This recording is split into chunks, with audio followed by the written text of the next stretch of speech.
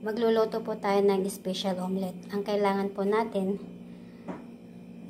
cheese, tomatoes, onion, carrots,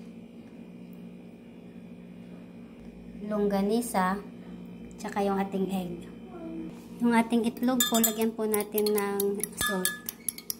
Pag mainit na yung mantila, mantika, ilagay natin yung ating longganisa. Pagluto na po yung longganisa, tanggalin natin. Yan na po siya. Sunod na po natin yung sibuyas, carrot, tsaka yung kamatis. Lagay natin yung sibuyas. Pag lumabas na yung aroma ng sibuyas, lagyan natin yung carrots.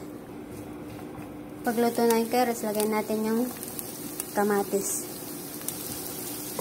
Sa mahilig na maanghang, lagyan po natin ng sili. Pero kung ayaw nyo po ng maanghang, huwag nang lagyan ng sili. Maglagay din tayo ng konting salt. Yan, pagluto na po yung kamatis, pwede na natin patayin at isunod natin yung egg. Buhos na po natin yung ating egg.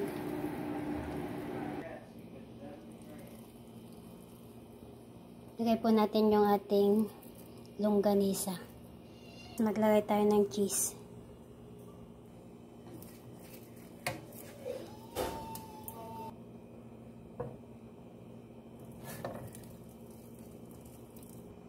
Yan na po siya. Lagyan po natin ng ketchup tsaka pang toppings. Pudpuran din natin ng cheese. Yan na po yung ating special omelet. Yan, maraming maraming salamat sa nag-subscribe. Yung mga hindi pa po mag-subscribe na para po matuto tayo.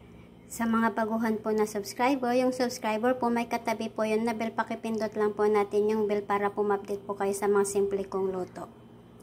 Ayan yung ating special omelette. Sa susunod na video po, maraming maraming salamat po ulit. God bless.